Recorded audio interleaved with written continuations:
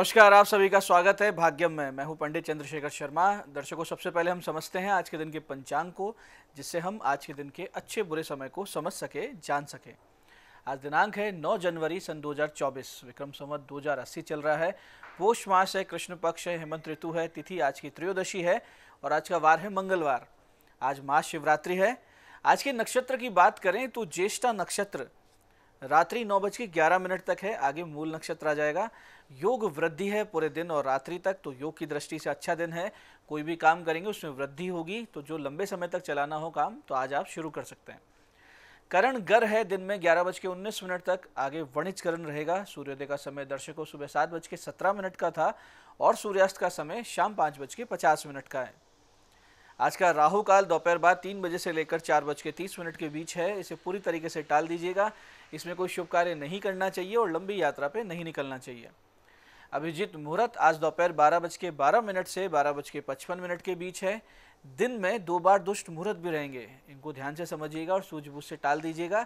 ये है सुबह नौ बज के चौबीस मिनट और सुबह दस बज के छः मिनट।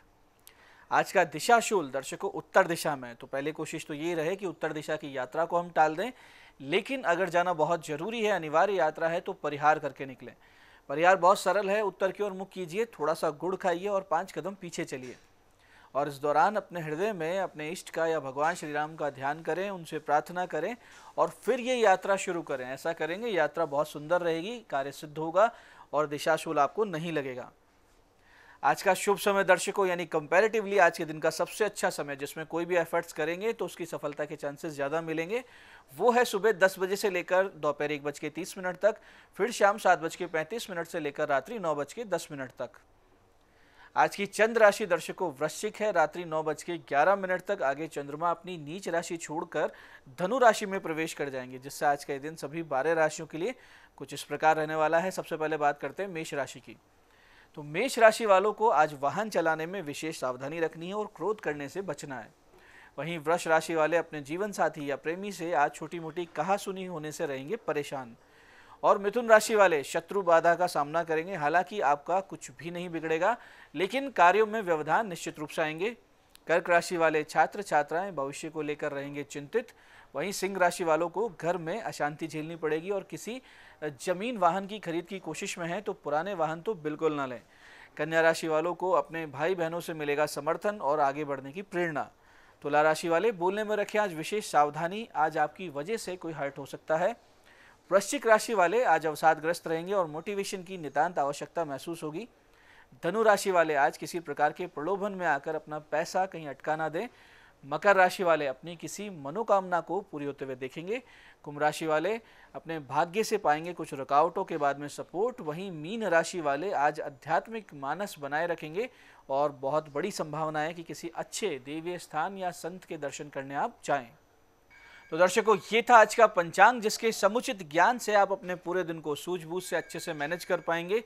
सही समय का पूरा पूरा सदुपयोग कर, गलत समय, यानी जो टालने योग्य समय हमने आपको बताया, इसमें कोई बड़ा कदम उठाने से आप बच जाएँगे। अब करते हैं आज के दिन की ज्ञान चर्चा, जो आपकी हमारी अंत्य दृष्टि को, प्रज्ञा को जागृत करेगी। फिर आगे समझेंगे उन विशिष्ट उपायों को, जो आपकी समस्याओं से आपको बाहर ले आते हैं और जीवन में सफल बना देते हैं। अंत में करेंगे आज के दिन की ज्योतिष मंत्रणा और समाधान। दर्शकों, हमारे शास्त्रों में बहुत ही सुंदर तरीके से गहन सत्य समझाए गए हैं। ऐसे सत्य जिनकी आज के इस दौर में नितांत आवश्यकता है, जब लगभग लगभग सभी लोग लाभ हानि देख कर ही संबंध निभा रहे हैं, बना रहे हैं। इस पर शास्त्र वचन इस प्रकार है कि परो अपि हितवान बंधु, अपि अहित परे। अहित देहज व्याधि, हितम आरण्यम औषधम। अब ये छोटी सी बात है, लेकिन इसका अर्थ समझिए कि यदि कोई अपरिचित व्यक्ति आपकी मदद करता है तो उसको अपने परिवार के सदस्य की तरह महत्व दें। और अपने परिवार के सदस्य, अपने स्वजन ही आपको नुकसान देना शुरू हो जाए तो उसे महत्व देना बंद कर दें। ठीक उसी प्रकार से जैसे शरीर के किसी अंग में कोई बीमारी हो जाए तो वो हमें तकलीफ़ पहुँचाने लगती है, जबकि जंगल में उगी हुई औषधि हमारे लिए लाभकारी होती है। तो ऐसे कोई भी ऐसी कोई आवश्यकता नहीं है कि कोई टॉक्सिक रिश्तेदारों को सिर्फ़ इसलिए झेला जाए कि रिश्ता निभाना होगा। माता पिता के अतिरिक्त इस संसार में कोई भी संबंध ऐसा नहीं होता जिसके लिए आपको अपमान या अनादर झेलते हुए भी निभाना अनिवार्य हो। तो अपने जीवन में सुख शांति को महत्व दीजिए और टॉक्सिसिटी से दूर रहिए। तो दर्शकों, ये थी ज्ञान चर्चा। अब बात करते हैं उन विशिष्ट उपायों पर जो आपको सभी प्रकार की समस्याओं के समाधान बहुत ही सरलता से कर देते हैं और जिन्हें करके आप असफलता को बहुत पीछे छोड़ते हुए सफलता की ओर दृढ़ता से, तेज गति से अग्रसर होते हैं। सबसे पहले बात करते हैं उनकी, जिनका जन्मदिन है। तो जिन जिन का जन्मदिन है, आज आप सब लोग हनुमान जी को लाल ध्वजा, लाल लंगोट और पान के साथ लड्डू अर्पित करें। और उनके नाम से घर में बना हुआ कोई मिष्ठान छोटे छोटे बच्चों में बांटे। सवा किलो मसूर की दाल भगवान शिव जी पर अर्पित करें। साथ ही रात्रि में लगभग सवा आठ बजे के बाद में पाँच किलो गुड़ थोड़ा थोड़ा करके गौ माता को, श्वानों को खिला दें। तो आने वाला पूरा वर्ष बहुत ही योग कारक बीतेगा। ईश्वर की कृपा नित्य निरंतर आपको अनुभव होती रहेगी। इसमें कोई भी संदेह नहीं है। ऐसे ही दर्शकों, यदि आप बहुत दिनों से परेशान चले आ रहे हैं ग्रह बाधा बनी हुई है, शत्रु बाधा है या फिर घर की वास्तु बहुत ज़्यादा खराब है किसी प्रकार का संकट जो आपके कार्यों को, आपके करियर को, व्यापार पे खतरा बना हुआ है, उन सभी समस्याओं के लिए एक बहुत ही सटीक समाधान है। श्री हनुमान जी की शरण ली जाए। इसके लिए आज का दिन बहुत ही सुंदर है, बहुत ही शुभ और सटीक है कि आप इसका उपाय करें।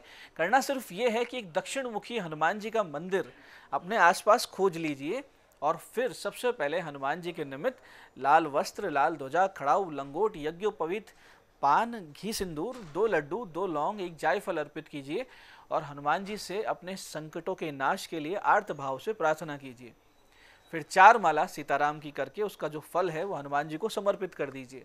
फिर इस बहुत ही विशिष्ट मंत्र की ग्यारह माला का जाप, वहाँ मंदिर में ही आप बैठ के कीजिए। प्रत्येक माला के जप के बाद में आपको साष्टांग दंडवत होना है और फिर पुनः अपना जप शुरू करना है। जो मंत्र आपको जाप करना है वो इस प्रकार है, ध्यान से समझिएगा, बहुत ही तीव्रता से असर करने वाला ये मंत्र है। मंत्र इस प्रकार है तुमस्मिन कार्य निर्वाहे प्रमाणम हरिसत्यम तस्य चिंतयतो यत्नो दुक्षय करो भवेत। मंत्र को फिर से समझिए। मंत्र है तुमस्मिन कार्य निर्वाहे प्रमाणम हरिसत्यम तस्य चिंतयतो यत्नो दुक्षय करो भवेत। पूरे मन से करेंगे, भगवान एक ही दिन में आपकी समस्याओं का समाधान शुरू कर देंगे। ऐसे ही दर्शकों, जिन लोगों के मंगल की पीड़ा बहुत ज़्यादा हो, यानी जन्म पत्रिका मंगल परेशान कर रहे हो और बहुत ज़्यादा मांगलिक दोष हो या मंगल से संबंधित कोई किसी प्रकार की निर्बलता हो, वो आज के इस विशिष्ट मंगलवार से कुछ उपाय करें, समस्याओं से निजात पा सकते हैं। जैसे कि आज आप सुबह गुड़ के तीन टुकड़े लेकर निकलिए घर से। एक टुकड़ा मंदिर में अर्पित कीजिए, एक ज़मीन में कहीं दबा दीजिए और एक गौ माता को खिला दीजिए। फिर शिवालय में मसूर की दाल, गुड़ शिवलिंग पर अर्पित करें और बंदरों को गुड़ चना खिलाइए। साथ ही साथ प्रत्येक मंगलवार इस विशिष्ट मंत्र की चार माला का जाप, मात्र चार माला का जाप करते रहें तो मंगल आपको परेशान करना बंद कर देंगे। मंत्र इस प्रकार ध्यान से समझिएगा, ओम धरणी गर्भ संभूतम विद्युत कांति संप्रभम कुमारम शक्ति हस्तम तम मंगलम प्रणमाम्य हम अंतर फिर से समझते हैं, ओम धरणी गर्भ संभूतम विद्युत कांति संप्रभम कुमारम शक्ति हस्तम तम मंगलम प्रणमाम्य हम पूरे मन से कीजिए और मंगल देवता की कृपा आपको निश्चित रूप से प्राप्त होगी। तो दर्शकों ये थे आज के वो विशिष्ट उपाय जो आपको समस्याओं से बाहर ला रहे हैं और मनोकामनाएँ सिद्ध कर रहे हैं। अब बात करते हैं आपके सवालों की। आपके सवालों में आज हमारे पास जन्म पत्रिका आई है हमारे दर्शक जितेंद्र जी की। 22 जनवरी उन्नीस सौ इक्यासी का जन्म है, सुबह पाँच बज के सत्तावन मिनट, जयपुर। आगे का भविष्य कैसा है? सफलता कब मिलेगी? इनका प्रश्न है। जितेंद्र जी धनु लग्न कर्क राशि की जन्म पत्रिका आपकी। सूर्य ग्रहण, चंद्र ग्रहण दोनों है जन्म पत्रिका में। पंचमेश और कर्मेश, ये दोनों अस्त हैं।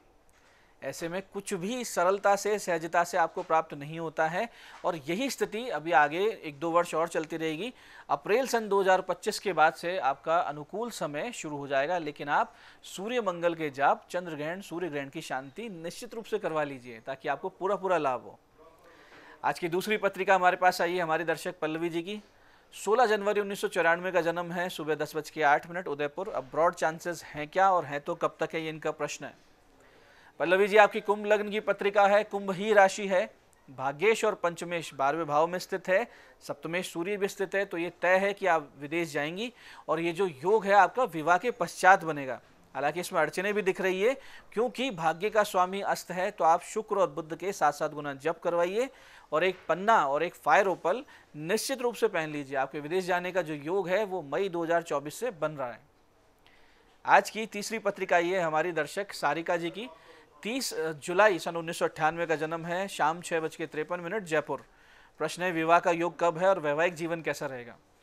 देखिए, सारिका जी, आपका मकर लग्न है, तुला राशि है, सप्तमेश चंद्रमा शत्रु राशि में है, उस पर शनि की दृष्टि है। साथ ही सप्तम भाव में सूर्य भी स्थित है तो विवाह में विलंब भी है और विवाह के पश्चात समस्याएँ भी है।